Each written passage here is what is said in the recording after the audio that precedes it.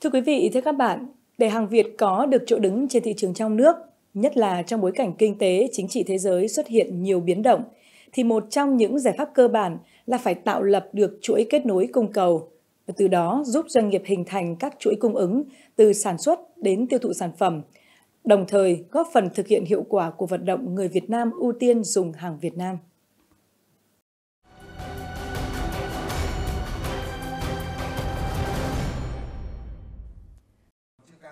Theo Ban chỉ đạo Trung ương, cuộc vận động người Việt Nam ưu tiên dùng hàng Việt Nam năm 2021 và những tháng đầu năm 2022, dù phải đối mặt với tác động tiêu cực từ đại dịch COVID-19, nhưng Ban chỉ đạo cuộc vận động người Việt Nam ưu tiên dùng hàng Việt Nam các cấp đã triển khai thực hiện đồng bộ các nhiệm vụ, giải pháp góp phần thúc đẩy sản xuất kinh doanh, đảm bảo ổn định kinh tế vĩ mô và an sinh xã hội. Theo vụ trưởng vụ thị trường trong nước Bộ Công Thương, nhiều sản phẩm hàng hóa Việt Nam chất lượng cao từ chương trình người Việt Nam ưu tiên dùng hàng Việt Nam đã vượt biên giới đến được các thị trường khó tính. Riêng năm 2021, toàn quốc đã có khoảng 33 địa phương thực hiện chương trình bình ổn thị trường với số điểm bán hàng vượt trên 11.000 điểm. Nhiều doanh nghiệp đã đưa hàng hóa trong nước sản xuất vào hệ thống phân phối tại Việt Nam, đồng thời xuất khẩu thông qua hệ thống bán lẻ trên toàn cầu. Đến nay, cả nước đã có 700 chuỗi cung ứng nông sản an toàn được kết nối giữa 50 tỉnh, thành phố trên cả nước. Đặc biệt trong bối cảnh dịch COVID-19 diễn biến phức tạp, Bộ Công Thương đã trực tiếp triển khai hướng dẫn phối hợp các địa phương tổ chức 1.000 hội nghị trực tuyến hoặc kết hợp trực tiếp và trực tuyến,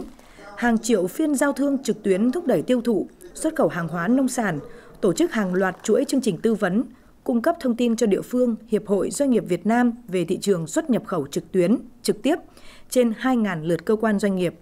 Những hoạt động này đã đạt được những kết quả rất khả quan. Ví như Công đoàn Công thương Việt Nam, trong vai trò của mình đã có những hoạt động kết nối công đoàn cơ sở cùng ký kết các thỏa thuận hợp tác tiêu thụ hàng hóa sản phẩm của đơn vị trong ngành công thương, nhằm thúc đẩy việc tiêu thụ hàng hóa mở rộng thị trường và lan tỏa những thông điệp của cuộc vận động người Việt Nam ưu tiên dùng hàng Việt Nam.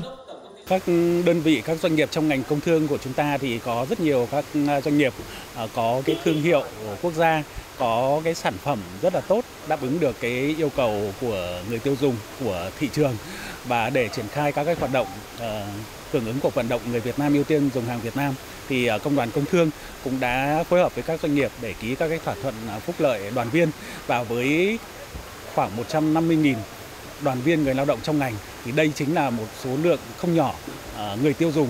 và nếu được người tiêu số người tiêu dùng này ưu tiên dùng các cái sản phẩm thì chúng tôi cho rằng là các cái doanh nghiệp của ngành công thương của chúng ta cũng sẽ có cái cơ hội để ờ, phát triển cái thị trường, tăng cường cái hoạt động sản xuất kinh doanh. Tại các địa phương, hoạt động kết nối cung cầu hỗ trợ doanh nghiệp mở rộng thị trường được Sở Công Thương tập trung triển khai đẩy mạnh. Mới đây, được sự hỗ trợ của Bộ Công Thương và Ủy ban Nhân dân tỉnh Thanh Hóa, Cục Công Thương địa phương và Sở Công Thương Thanh Hóa cũng đã phối hợp tổ chức thành công hội trợ hàng công nghiệp nông thôn tiêu biểu 28 tỉnh thành khu vực phía Bắc với quy mô 400 gian hàng nhằm giới thiệu quảng bá các sản phẩm hàng Việt Nam tiêu biểu do các doanh nghiệp trong nước sản xuất. Tôi cũng đã đi dự nhiều hội trợ rồi và và lần này thì ở Thanh Hóa thì là lần đầu tiên, nhưng mà tôi cũng cảm nhận được là cái mô hình và cách tổ chức là rất chuyên nghiệp, có rất nhiều các doanh doanh nghiệp đã được bày sản phẩm ở đây để giới thiệu và bán sản phẩm. Qua đây thì mình cũng là cái kênh để mình ờ, có thể là phát triển thương hiệu. Mình gặp gỡ được nhiều người, rất nhiều khách hàng và các cái đối tác để phát triển, có thể phát triển cái thương hiệu của mình nhiều hơn nữa. Chúng tôi xác định thị trường Thanh Hóa là một trong những cái thị trường lớn và chúng tôi hướng tới.